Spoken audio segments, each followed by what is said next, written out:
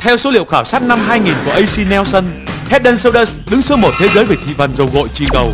Đó là vì Head and Shoulders cho hiệu quả trị gầu cao, bắt đầu trị sạch gầu sau lần gội đầu tiên. Head and Shoulders hoàn toàn mới